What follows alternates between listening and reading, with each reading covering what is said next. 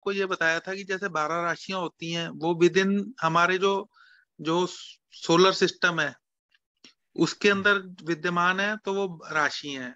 यदि उसमें हम जैसे बाहर जो जो भी हम तारे देखते हैं उसमें हमारे पुराने जो बुज़ुर्ग थे उन्होंने क्या था कि उसमें तारों में सत्ताईस समूह इस तरह के किए कि वो 360 डिग्री में सत्ताईस समूह आपस में इक्वल डिस्टेंस पे एंगुलर इक्वल डिस्टेंस पे सत्ताईस समूह उन्होंने पहचाने और उनके नाम दिए। तो उनको नक्षत्र कह देते हैं हम। अब वो नक्षत्र की इंपॉर्टेंस क्या है? नक्षत्र की महत्वता ये है कि जैसे मान लो कोई ग्रह चल रहा है कुछ चल रहा है, कुछ भी चीज़ चल रही है तो वो पीछे से आप देखोगे कि जब कोई चीज़ आप किसी को, किसी भी चीज़ को देखते हो, उसकी बैकग्राउंड जो है बैकग्राउंड का बहुत बड़ा मैटर है कि बैकग्राउंड यदि जैसे ब्राइट कलर के व्हाइट कलर के पीछे जैसे कोई चीज़ आगे देखोगे, कोई डार्क कलर की चीज़ देखोगे तो आपको क्लियर नज़र आएगा। तो बैकग्राउंड में जो चीज़ है वो उसकी, उससे वो काफ़ी उसका पता लगता है कि ये कहाँ पे है चीज़। अब उसमें यह यदि आगे ग्रह होंगे तो उसके पीछे जो पैटर्न बन रहा होगा, जिस पैटर्न में वो विद्यमान होगा, जिस स्थान पे वो विद्यमान होगा तो उससे उसकी पोजीशन पता लग जाएगी प्लैनेट्स की। क्योंकि वैसे आप देखोगे, खुद ही देखोगे कि उन्हें पुराने हमारे जो थे बुज़ुर्ग, उन्होंने कैसे देखा होगा ऋषि मुनियों ने कि ग्रह इस टाइम कौन सी राशि में है? आप लोग पूछ भी रहे थे पहले कि ग्रह कौन सी राशि में कैसे देखते थे? वो ऐसे देखते थे कि उसके पीछे उस समय उसके आसपास कौन से नक्षत्र थे? कौन से नक्षत्र के जो सितारे हैं स्टार्स हैं, वो कैसे, कौन से नक्षत्र के आसपास है? तो उससे वो ग्रह का पता कर लेते थे ये ग्रह यहाँ पे अभी, इस जगह पे है। तो यही नक्षत्रों की इंपॉर्टेंस है और वो उस उस ग्रह का जो रिज़ल्ट है, वो बहुत ज़्यादा नक्षत्र, कौन से नक्षत्र में वो विद्यमान है, कौन से नक्षत्र में अभी वो चल रहा है, जिस समय चल रहा होता है, उसका बहुत बड़ा इफ़ेक्ट पड़ता है उसके ऊपर, ग्रह के ऊपर। उसी हिसाब से उसके जो परिणाम है रिज़ल्ट है, वो बहुत ज़्यादा प्रभावित होते हैं। तो अब हम नक्षत्रों को जो राशि है, अब आपको पता है कि राशियाँ भी उसी 360 डिग्री में उसके बियॉन्ड जो है नक्षत्र है, वो भी 360 डिग्री में तो आपको वही राशि जो 30 डिग्री की राशि, उसी राशि के अंदर आपको नक्षत्र भी दिख जाएँगे। जैसा कि अभी आप ये सर्कल में देख रहे हो, जो आपके स्क्रीन के ऊपर दिख रहा है, इसमें जो पीले रंग के आपको जो सर्कल है, वो आपको उसमें राशियाँ बनाई गई हैं। और उसके बाहर जो व्हाइट कलर में जो राउंड है व्हाइट कलर में, वो नक्षत्र है। ठीक है? ये नक्षत्र है और जो आपका ब्लू ब्लू पैटर्न है ब्लू पैटर्न इसमें हर एक नक्षत्र का जैसे हर एक राशि का एक स्वामी होता था ऐसे ही नक्षत्र का स्वामी तो नहीं बोल सकते लेकिन ये है कि ये एक दशा का सिस्टम आता है। उसमें जो भी हमारा चंद्रमा जिस नक्षत्र में होता है वो दशा वहाँ से प्रारंभ होती है आरंभ होती है। तो दशा कौन से ग्रह की दशा से आरंभ होगी और कैसे क्रम में चलेगी, वो जो ब्लू वाले हैं, वो पैटर्न दे रहे हैं कि यदि अश्वनी नक्षत्र पहला नक्षत्र है तो यदि उसमें चंद्रमा होगा तो केतु की दशा आरंभ होगी, यदि भरनी है तो शुक्र की आरंभ होगी, कृतिका है तो सूर्य की होगी, रोहिणी है तो चंद्रमा की होगी, मृगशिरा है तो मंगल की होगी, आर्द्रा है तो राहु की होगी पुनर्वसु है तो बृहस्पति की होगी, पुष्य है तो शनि की होगी, अश्लेषा है तो बुद्ध की होगी। इस तरह से मतलब नौ ग्रहों की जो दशाएँ शुरू होती हैं। अब इसमें ये ऐसे ही बोल देते हैं कि जैसे आप पहली राशि देखोगे, आपको बताया था पिछली क्लास में भी मैंने कि तीस डिग्री की राशि होती है और उसमें एक राशि में सवा दो नक्षत्र होते हैं। तो एक नक्षत्र जो है तेरह डिग्री बीस मिनट का होता है। तो तेरह डिग्री तेरह डिग्री, बीस मिनट, तेरह डिग्री, बीस मिनट, छब्बीस डिग्री, चालीस मिनट हो गए। अब तीस डिग्री में से बचा कितना? तीन डिग्री, बीस मिनट। तो तीन डिग्री, बीस मिनट क्या होगा तेरह डिग्री, बीस मिनट का एक चौथाई हो गया। तो इससे हमें ये पता लग रहा है कि दो नक्षत्र तो पूरे हो गए, एक एक चौथाई नक्षत्र आ गया। तो इस तरह से एक राशि में सवा दो नक्षत्र होते हैं।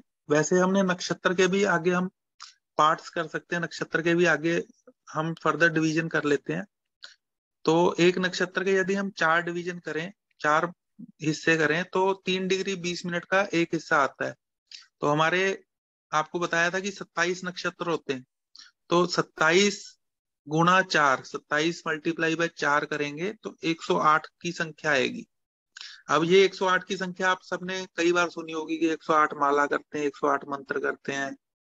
108 की बड़ी पवित्र जो है, संख्या है। वही वही संख्या यहाँ से आ जाती है कि नक्षत्र के यदि 27 नक्षत्र को चार बराबर हिस्सों में हम बांटेंगे तो 108 हिस्से बन जाते हैं। और एक राशि 30 डिग्री की होती है तो उसमें तीन डिग्री 20 मिनट का जो है, नौ हिस्से आ जाते हैं। तो एक हिस्से को हम चरण भी बोल देते हैं, पद भी बोल देते हैं। इसका मतलब ये हो गया कि एक नक्षत्र में चार पद होते हैं या चार चरण होते हैं। और एक राशि में सवा दो हो गए तो दो two point two five into कितना? फोर। ठीक है? तो कितना हो गया? नौ। दो गुना दो पॉइंट क्योंकि सवा दो हो गए सवा दो मतलब two point two five into four.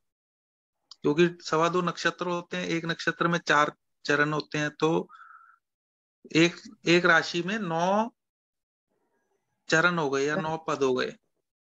तो इस तरह से दो नक्षत्र पूरे आ गए और एक तीसरे नक्षत्र का एक पद आ गया। इस तरह से राशियों में आते हैं, नक्षत्र फैले हुए हैं।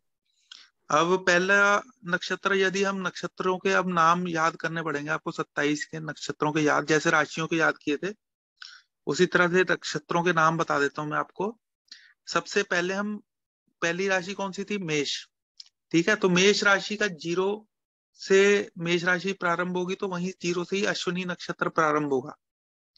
ये अश्वनी लिखा ना, एक नंबर लिखा है जो बाहर व्हाइट सर्कल में तो अश्वनी नक्षत्र जो है सबसे पहला नक्षत्र है। अश्वनी के बाद भरनी, ठीक है? भरनी के बाद कृतिका जो है, उसका एक चरण जो आ जाएगा मेष राशि में एरीज में, ठीक है? और कृतिका के तीन चरण बच गए। अब तीन चरण अगली राशि में चले जाएँगे। किसमें? तो जो वृषभ वृषभ राशि है उसमें जो है तीन चरण उसमें चले गए कृतिका के। अब आप एक चीज़ और देखेंगे कि नक्षत्र जैसे नौ नौ चरण होते हैं तो आप ये देखेंगे दस इनके इनका पैटर्न वही है। हर एक राशि में वो तीन डिग्री बीस मिनट छ चालीस दस डिग्री तेरह बीस सोलह चालीस बीस तेईस, बीस, तेईस डिग्री, बीस मिनट, छब्बीस डिग्री, बीस मिनट, तीस डिग्री। ऐसा नहीं है कि ये चेंज हो जाएँगे, ये वहीं पे यही डिग्री पे चरण शुरू होगा, यही डिग्री पे चरण खत्म होगा, राशि कोई भी हो। ठीक है? नक्षत्र कोई भी हो। अब जैसे कि अश्विनी का पहले तेरह तेरह डिग्री, बीस मिनट तक अश्विनी चला, फिर भरनी चालू हो गया। फिर भरनी तेरह, बीस से लेके छब्बीस, चालीस तक हो गया। ठीक है उसके बाद छब्बीस चालीस से लेके तीस डिग्री तक पहला चरण कृतिका हुआ हो गया। उसके बाद अगली राशि शुरू हो गई। अगली राशि वृषभ राशि उसमें फिर ज़ीरो से दूसरा चरण कृतिका नक्षत्र का दूसरा चरण चालू हो गया। और वहाँ से लेके वो दस डिग्री तक जो है कृतिका चला। मतलब कि उसके तीन चरण जो है उस राशि के तीन चरण कृतिका में आ गए। अब दस डिग्री के आगे जो है वृषभ में दस डिग्री से आगे रोहिणी चालू हो गया। रोहिणी जो है दस डिग्री से लेके तेईस डिग्री बीस मिनट तक रोहिणी चला क्योंकि चार चरण उसके आगे। हम्म। अब बचे कितने? तेईस बीस के बाद दो चरण बचे हमारे। दो चरण। रोहिणी दो चरण जो है मृगशिरा के दो चरण जो है आपके वृषभ में आ गए। अब चरण तो चार है मृगशिरा के दो चरण जो बच गए वो अगली राशि में चले गए मिथुन में। इसका मतलब ये होगा कि मृगशिरा का आधा मृगशिरा जो है वृषभ राशि में आ गया आधा मृगशिरा नक्षत्र जो है तीसरा चौथा चरण मृगशिरा का वो आ गया मिथुन राशि में।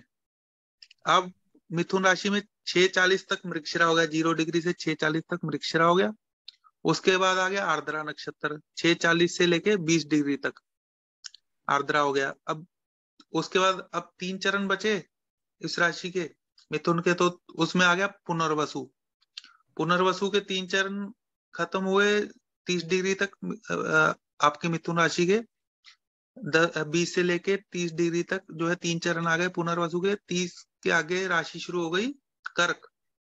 कर्क राशि का जो है, पुनर्वसु का आखिरी चरण जो है, कर्क राशि में आ जाएगा। मतलब ज़ीरो डिग्री से तीन डिग्री बीस मिनट तक पुनर्वसु आ गया।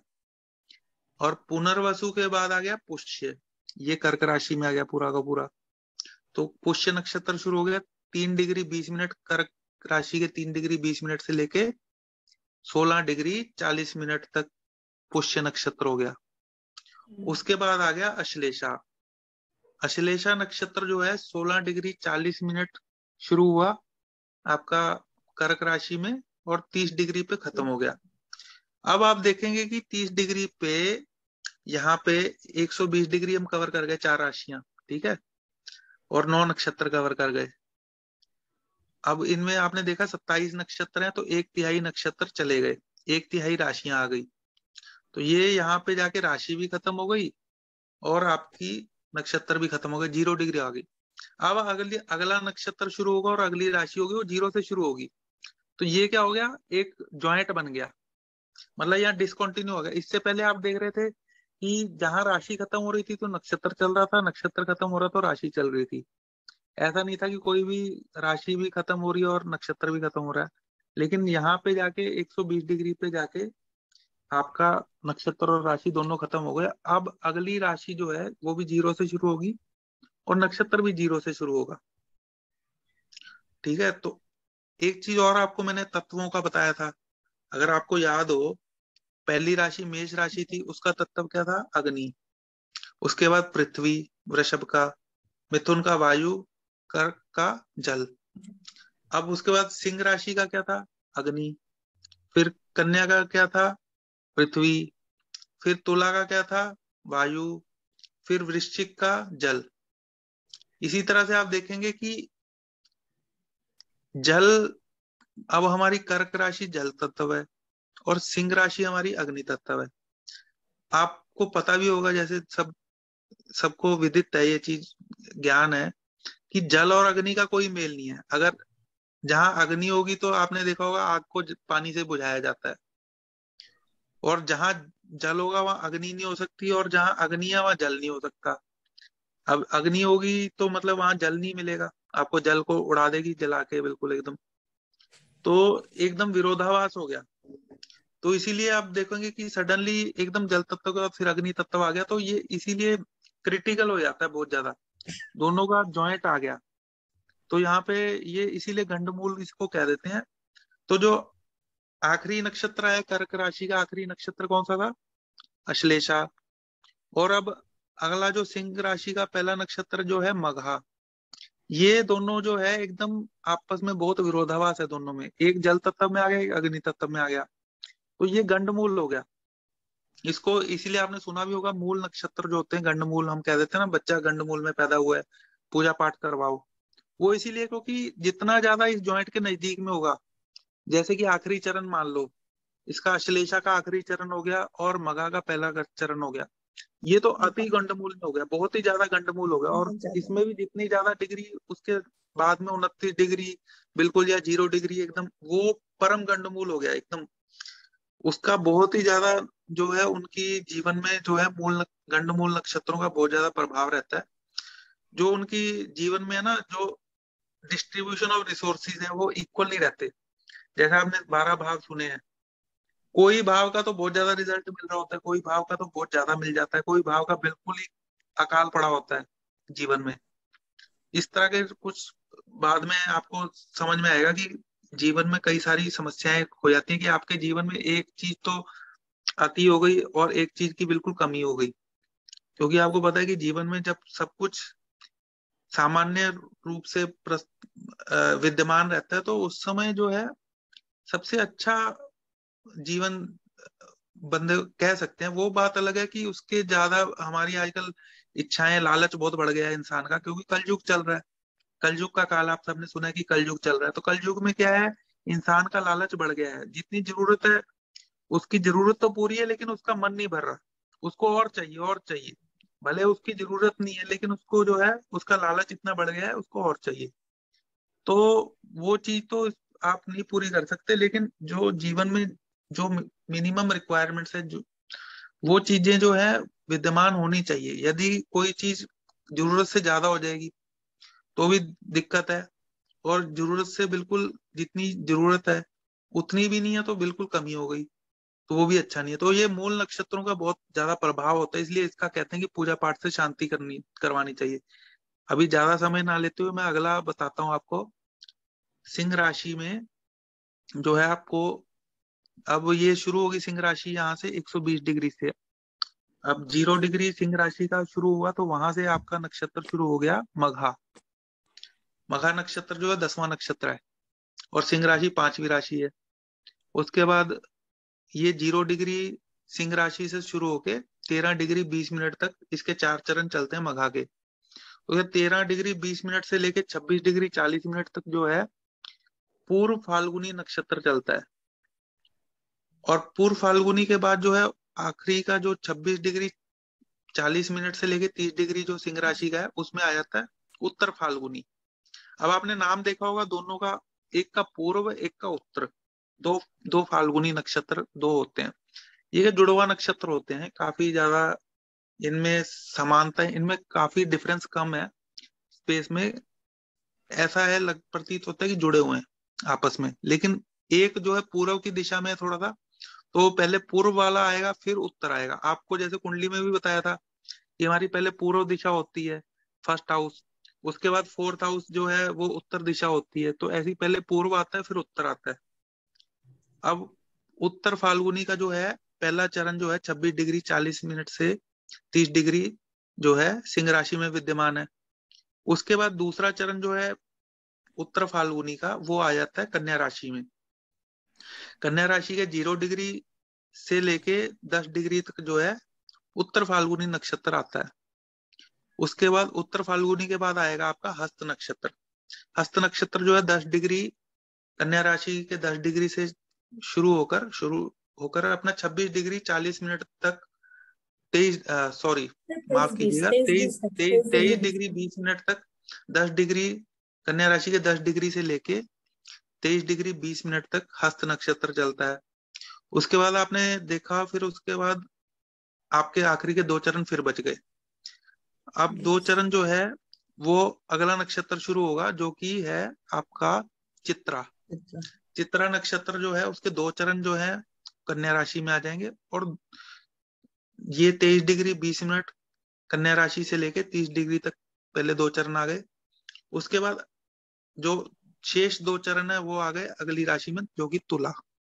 तुला राशि में आप देखेंगे कि दो चरण चित्रा के ज़ीरो डिग्री से लेके छह डिग्री चालीस मिनट तक चित्रा नक्षत्र के तीसरा और चतुर्थ चरण जो है, वो पड़ता है। इसके बाद छह डिग्री चालीस मिनट आपका तुला राशि छह डिग्री चालीस मिनट से लेके बीस डिग्री तक जो है, वो आ गया स्वाति नक्षत्र।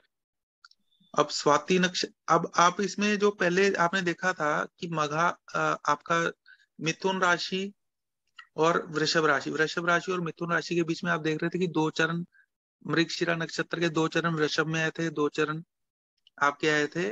मिथुन राशि में अब वो भी आप देखेंगे कि उसके नीचे मंगल आप मृगशिरा के नीचे देखेंगे मंगल लिखा हुआ है पाँच नंबर पे।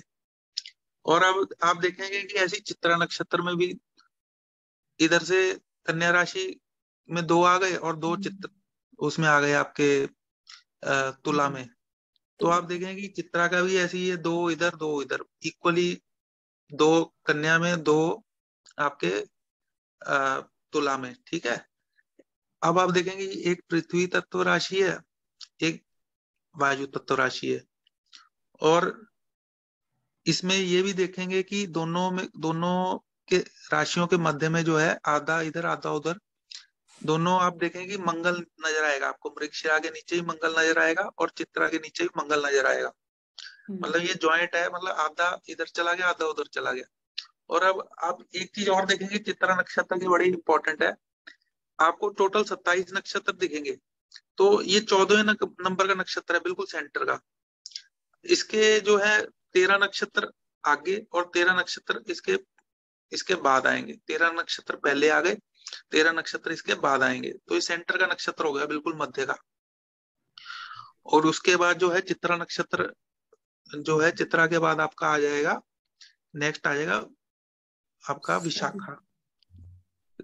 चित्रा का स्वाति आ जाएगा? माफ़ स्वाति दस आपका छह डिग्री चालीस मिनट से लेके बीस डिग्री तक बता ही दिया था मैंने पहले। स्वाति आ गया। स्वाति के बाद जो आ गया आखिरी के तीन चरण आ गए आपके। तुला के बीस डिग्री से लेके तीस डिग्री तक आ गया विशाखा। और विशाखा जो है उसके तीन चरण इसमें आ गए और फिर उसके बाद शुरू हो गई आपकी वृश्चिक राशि। वृश्चिक राशि का जो है पहला चरण जो है ज़ीरो डिग्री से लेके तीन डिग्री बीस मिनट तक विशाखा ही आ रहा है। विशाखा का चौथा चरण आ गया। अब विशाखा के बाद जो है आपका आ गया अनुराधा। अनुराधा जो है वो तीन डिग्री वृश्चिक राशि के तीन डिग्री बीस मिनट से लेके आपको मिलेगा सोलह डिग्री चालीस मिनट तक। आपने ये भी देखा होगा कि ये तीन डिग्री की एक डिग्री थी तो वहाँ पे चंद्रमा नीच का हो रहा था वृश्चिक में। है ना? तो ये इसका मतलब ये होगा कि ये विशाखा नक्षत्र के आखिरी चरण में बिल्कुल जो है बिल्कुल चंद्रमा नीच हो जाता है। अब इसके बाद जो है 16 डिग्री 40 मिनट आपको बताया कि अनुराधा आ गया तीन डिग्री 20 मिनट से 16 चालीस तक वृश्चिक का अनुराधा आ गया। अनुराधा के बाद जो आ गया ज्येष्ठा नक्षत्र। ज्येष्ठा नक्षत्र जो है 16 डिग्री 40 16 डिग्री चालीस मिनट से लेके 30 डिग्री तक आपका वृश्चिक राशि का जो है आपका आ गया ज्येष्ठा नक्षत्र। अब इसके बाद आप देखेंगे फिर से वही स्थिति जो पहले समझाई थी आपको कि वृश्चिक राशि का तत्व कौन सा है? जल तत्व। और इसके अगली राशि कौन सी है? धनु राशि, उसका तत्व कौन सा है? अग्नि तत्व। और अब अगर आप देखेंगे फिर से नौ नक्षत्र पूरे हो गए, चार राशियाँ पूरी हो गई 120 डिग्री और हो गया 240 डिग्री हो गया। तो अब यहाँ पे आगे फिर आप देख रहे हैं कि वही नक्षत्र भी खत्म हो गया, राशि भी खत्म हो गई। अब अगला नक्षत्र और अगली राशि फिर ज़ीरो से बिल्कुल शुरू होंगे। और यहाँ पे भी वही जल और अग्नि का आपस में मेल हो गया। अब जो आपका ज्येष्ठा नक्षत्र था, इसके बाद आता है मूल नक्षत्र। आपने गंड मूल। अब जो गंड मूल का नक्षत्र है, ये मूल नक्षत्र से ही मूल आया है इसका। मूल का मतलब आप वैसे भी समझते हो जड़े। बेस, कहाँ से शुरुआत हुई? तो वो इसी मूल नक्षत्र के स्वभाव से प्रभावित होते हुए देखा गया कि ऐसे ही और भी नक्षत्र हैं, ऐसे ही और भी जगह बन रहा है, ऐसी बाउंड्री कंडीशन इस तरह की जो सीमा कहीं और भी बन रही है, तीन जगह बन रही है तो इसी वजह से इनको सबको मूल नक्षत्र, गंड मूल कह देते हैं, क्योंकि गांठ बन गई, क्योंकि एक चीज़ को दूसरी चीज़ से ज्वाइंट नहीं है, और ज्वाइंट बनेगा तो गांठ पड़ जाएगी तो गांठ से गंड आ गया और मूल नक्षत्र का मूल आ गया। अब ये इसमें वही है कि जो जीवन में कोई चीज़ बहुत अधिक हो गई कोई चीज़ की बिल्कुल कमी हो गई ये नक्षत्रों का प्रभाव आता है इसलिए इनका पूजा पाठ के लिए शास्त्रों में कुछ बताया गया है। वो बाद में हम आपको बताएँगे। अभी हम नक्षत्रों के बारे में बता देते हैं इसके बाद जो धनु राशि अभी जैसे बताया था धनु राशि जो है अग्नि तत्व राशि इस, इसका पहला नक्षत्र जो है आ गया मूल नक्षत्र ज़ीरो डिग्री धनु से तेरह डिग्री बीस मिनट तक मघा नक्षत्र मूल नक्षत्र आ गया। मूल के बाद आ गया। तेरह डिग्री बीस मिनट से लेके छब्बीस डिग्री चालीस मिनट तक आवा, का आ गया पूर्व षाढ़ नक्षत्र। आपने फिर वो देखा होगा, वही पूर्व पूर्व आ गया, पूर्व नाम आ गया। अब इसके पूर्व के बाद कौन सा आएगा? उत्तराषाढ़। उत्तराषाढ़ वही छब्बीस डिग्री चालीस मिनट से लेके धनु राशि के तीस डिग्री तक उसका पहला चरण आ गया। अब उसके बचे तीन चरण, वो अगली राशि में आएँगे, मकर राशि में। अब ज़ीरो डिग्री, मकर राशि के ज़ीरो डिग्री से लेके दस डिग्री तक जो है नक्षत्र आता है, उत्तराषाढ़। उत्तराषाढ़ के बाद आएगा नक्षत्र आपका श्रवण। अब श्रवण नक्षत्र जो है दस डिग्री, मकर राशि के दस डिग्री से लेके तेईस डिग्री बीस मिनट तक श्रवण नक्षत्र चलता है। उसके बाद श्रवण के बाद आता है धनिष्ठा। धनिष्ठा तो बाद में कहते हैं धन से जोड़ा गया इस नक्षत्र को। वैसे इसका शास्त्रों में असली नाम शर्विष्ठा है। शर्विष्ठा नक्षत्र कहते हैं इसको शास्त्रों में। लेकिन ये इसको धन से देख, जोड़ के देखा गया तो इसे धनिष्ठा बोल दिया गया। इसका धनिष्ठा नक्षत्र के नीचे भी आप देखेंगे तो वही चंद आपको मंगल नज़र आएगा। अब यही धनिष्ठा नक्षत्र में भी सेम होगा कि आधा धनिष्ठा हम्म। नक्षत्र मकर राशि में आ गया जो कि पृथ्वी तत्व राशि है। आधा धनिष्ठा नक्षत्र जो है दूसरी राशि वायु तत्व में कुंभ राशि में चला गया। अब धनिष्ठा नक्षत्र का तेईस डिग्री बीस तेईस डिग्री बीस मिनट से लेके तीस डिग्री तक दो चरण आ गए धनिष्ठा के उसके बाद अगला जो कुंभ राशि में ज़ीरो डिग्री से लेके छह डिग्री चालीस मिनट तक धनिष्ठा नक्षत्र के जो है कुंभ राशि में चले गए। अब धनिष्ठा के बाद आपका आ गया आपका शतभिषा नक्षत्र। शतभिषा। शतभिषा नक्षत्र जो है छह डिग्री चालीस मिनट जो है कुंभ राशि से लेके आपका बीस डिग्री तक जो है शतभिषा नक्षत्र चलता है। शतभिषा नक्षत्र के बाद आता है आपका पूर्व भाद्रपद अब आपने फिर देखा कि वही पूर्व पूर्व नक्षत्र आ गया पूर्व आगे। अब पूर्व आएगा तो उत्तरा भी आएगा। अब पूर्व भाद्रपद जो है ये बीस डिग्री बीस डिग्री कुंभ राशि के बीस डिग्री से लेके तीस डिग्री तक इसके तीन चरण आ गए पूर्व भाद्रपद के। और आखिरी चरण जो बचा वो आ गया उसका मीन राशि में। मीन राशि के ज़ीरो डिग्री से लेके तीन डिग्री बीस मिनट तक पूर्व भाद्रपद नक्षत्र है। उसके बाद तीन डिग्री बीस मिनट से लेके, अब आपको पता है पूर्व आया तो उत्तरा भी आएगा। अब पूर्व के तीन डिग्री बीस मिनट से लेके सोलह डिग्री चालीस मिनट तक मीन राशि का जो है उत्तरा भाद्रपद नक्षत्र आ गया।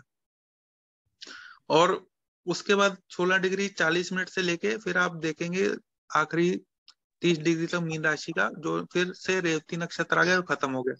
नक्षत्र भी खत्म हो गया, राशि भी खत्म हो गई। अब ये भी आपको पता है कि मीन राशि जो जल तत्व है, जल तत्व के बाद आपको पता है कि मीन राशि के बाद कौन सी राशि है? मेष राशि, वो फिर अग्नि।